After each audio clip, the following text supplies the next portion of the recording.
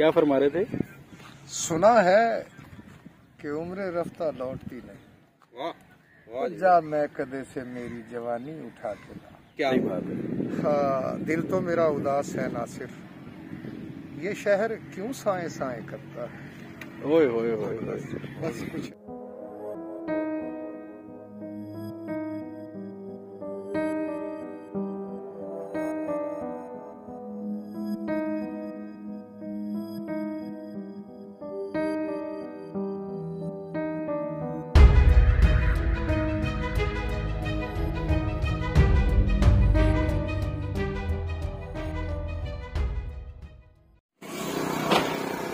तो जी खैर स्टेशन की तरफ़ तो हम जा ही रहे हैं। रास्ते में हमें कुछ हमारा सकाफती विरसा जो आप कह रहे हैं वो हमें मिल गया है। बाबर भाई जरा वो भी दिखा दिया जाए क्या कह। रहे हैं भाई आए ना जरा।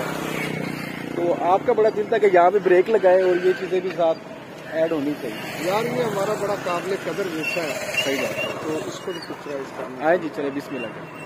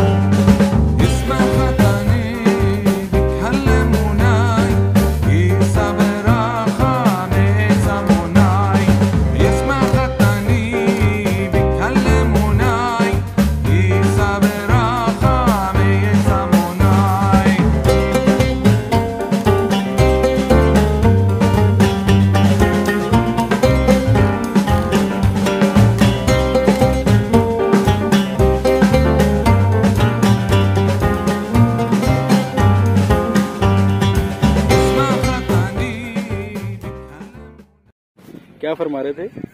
सुना है कि उम्र रफ्ता लौटती नहीं। वाह वाह जा। मैं कदे से मेरी जवानी उठा के ला। क्या बात क्या बात। यार ये नज़ारे है वैसे इनके। जी। अस्सलाम वालेकुम कैसे हैं बाबर भाई? जी वालेकुम सलाम खैरियत से आप कैसे हैं? ठीक है खैरियत से शुक्र अल्हम्दुलिल्लाह शुक्र अल्हम्दुलिल्लाह। आप सुनाए अनवर भाई क्या हाल चाल है? कैसे बस यार यहाँ आके ये देख रहा हूँ ऐसे लग रहा है जैसे वो वो जो दिन थे हम आया करते थे चहल पहल होती थी इधर कंटीन भी हुआ करती थी। हाँ। और यहाँ पे वो छाबड़ी वाले अपने पकौड़ों और समोसों की जब आवाज़ें लगा रहे होते थे और मुसाफिर देख रहे होते थे यार वो क्या वक्त था अब तो वीरानी देख के दिल बड़ा उदास हो गया। सही बात है। हाँ, दिल तो मेरा उदास है नासिर। ये शहर क्यों साए साए करता है? ओए होए होए। बस कुछ ऐसी कैफियत हो गई है। ये कभी बड़ा हजूम था बड़ी रौनक हुआ करती थी। आज तो ये वीराना देख के यार बड़ी तकलीफ़ हुई है दिल को। तरक्की के अदवार चलते रहे हैं साथ साथ लेकिन पता नहीं क्यों ये हमारे स्टेशन ने वीरानी की राह देख लिया यार। बड़ा अफसोस हो रहा है। भट्टी साहब? जी बिल्कुल जी। मैं तो आप बता रहे हैं मैंने तो खैर ये स्टेशन नहीं देखा अपनी ज़िंदगी में। ऐसे ही वीरान ही देखा है। आप बेहतर जानते हैं आपने उम्र गुजारी है इधर। हमने भी गुजारी है लेकिन आप माशाल्लाह ज़्यादा तजर्बेकार हैं।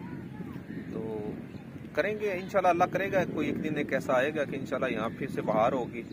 फिर ये स्टेशन रवां दवा होगा गाड़ियाँ आएँगी लोग अपना सफ़र करेंगे। इंशाल्लाह ताला कोई ऐसी बात नहीं है। ये हमारा जो इलाका है ना हमारा दुश्मन हमारी गोद में बैठा है। हाँ।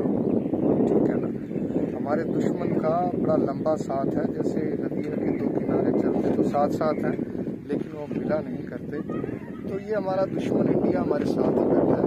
सही बात और ये जो हमारी पटरी है या ये जो हमारी लाइन है जो भावल नगर से कदम जाती है हम लोग का इसका लास्ट है हम्म। वहाँ से ये कट हो जाती है हमारी लाइन सही। असल ये जो कायम है ना इसका जो पॉइंट ऑफ़ व्यू है ना डिफेंसिव पॉइंट ऑफ़ व्यू हाँ। ये उस वजह से अभी तक कायम है और इसको रिन्यू होना चाहिए। सही इसमें पॉलिटिक्स का या ये कह लें कि जिद्दत का कोई अमल दखल नहीं है ये हमारी ज़रूरत है। सही बात है। और इसको कायम रहना चाहिए इसको सियासत की नज़र नहीं होना चाहिए। सही बात है। ये बनी भी इसीलिए थी और कायम भी इसीलिए क्योंकि दुश्मन तो दुश्मन ही होता है ना यार। सही आप भी तो माशाल्लाह एमफिल कर रहे हैं हिस्ट्री के अंदर ठीक है? मालूमात आपको भी आपकी तो का, काफ़ी ज़्यादा है। कि आप क्या कहेंगे वैसे? जी मैं अनवर भाई ने जिस तरह रोशनी डाली है मैं इनसे मुकम्मल एग्री करता हूँ इतफाक करता हूँ और जहाँ तक जो लोग ये बातें कर रहे हैं कि जो है इसका क्या फ़ायदा मेरा ख्याल है कि अगर कोई चीज़ अपॉर्चुनिटी अगर आपको मिल रही है या मिल जाएगी इनशाला सही। तो उसमें हरीजी क्या है? हाँ सही बात है। ठीक है। टैक्स तो वैसे भी बहुत ज़्यादा दे हाँ रहे जी। हैं थोड़ा सा इस्तेमाल तो में आ इसमें हरीजी जाएगा क्या देखे ना आवाम की इतनी खपत मैं उन लोगों को बताना चाहता हूँ। हमारे भाई हैं बड़े हमारे लिए मोहतरम है रिस्पेक्टफुल हैं। देखें कभी आप अड्डे पे गए हैं तो आप अड्डे पे देखते हैं कितनी पब्लिक होती है कितना हजूम होता है कितनी आवाम होती है ठीक है? आपको बस तक नहीं मिलती। एक डाइवो है तीन चार या पाँच है मुझे नहीं पता कितनी है और मैं कभी भी मुझे डाइवो पे कभी भी सीट नहीं मिली। बड़ी मुश्किल से मुझे सीट मिलती है क्योंकि इतनी पब्लिक है स्टूडेंट्स हैं यूनिवर्सिटी की आना जाना बच्चे बच्चियाँ हैं ठीक है? तो इतनी खपत सिक्योरिटी सिक्योरिटी इश्यूज़ या इखलाकी मामलात भी होते हैं बिल्कुल और इतनी खपत मतलब इतनी पब्लिक है वो पब्लिक की अगर ये रेलगाड़ी चलेगी ये पटरी दोबारा से रवा दवा होगी तो इसमें कितनी खपत हो जाएगी कितनी आवाम इधर डिवाइडेड हो जाएगी। हम्म। सही बात इसका हमारे शहर को ही फ़ायदा ना? तो मेरा ख्याल है कि हमें आ, हम समझते हैं कि हम दूर अंदेशी से नहीं सोचते।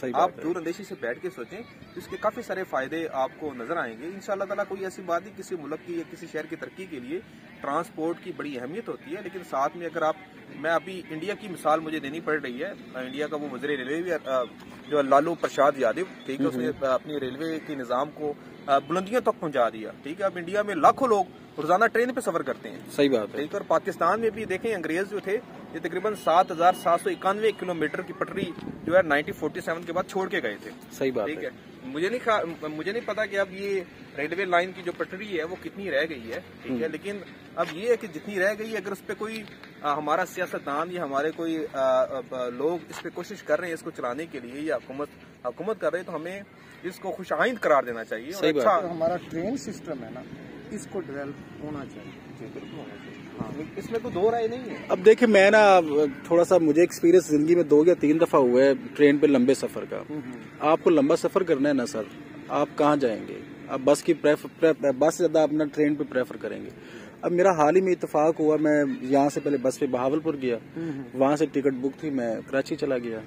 ठीक है? लेकिन मैंने जो एक चीज़ देखी ना अब बंदे को थोड़ा सा तजस्स होता है कि यार कितनी स्पीड होगी। अब मुझे तो नहीं पता।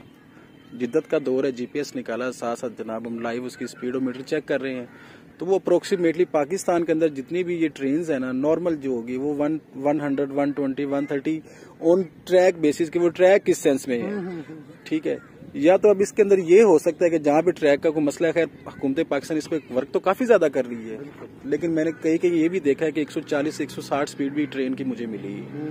ट्रैक अगर ठीक हो हाँ। जाता तो स्पीड में आना जाना तो ठीक है है। चलें अहमद भाई ये है कि ये जो हमारा एक तारीखी विरसा कह लें अब हाँ जी। इसको तारीखी विरसा तारीखी विरसे की सेंस में लेंगे इंशाल्लाह हाँ, जब तो तक इसको तारीखी विरसा पड़ा हुआ है कुछ पुरानी यादें भी ताज़ा करते हैं कि यार यहाँ क्या था क्या था? टिकट था कुछ शेर दोबारा ना एक हो जाए हुआ करते थे नहीं इनका इनसे मिशनाबाद के हवाले से बड़े खूबसूरत इन्होंने कुछ अशार लिखे हैं वो भी इनसे सुनने हैं अभी हाँ। और ये वो सरप्राइज़ में रखे या साथ साथ ये भी बताएँ? नहीं आज बल्कि अभी तो मैं बस यही कहूँगा कि याद माजी आज़ाद है यार। हम्म, छीन ले मुझसे हाफिजा। क्या बात क्या बात बस कुछ यादें यार ये देख के बस वो दिल को ना एक तकलीफ़ हो रही है कि यार हम आया करते थे इधर। और बड़ा मज़ा होता था। सही बात है। लेकिन अब ये यादें रह गई हैं तो इन यादों को हम आपके कैमरे की वो जो घर में दाखिल करते हैं कि यार ये कैसी यादें थी। सही बात है। तो उसके लिए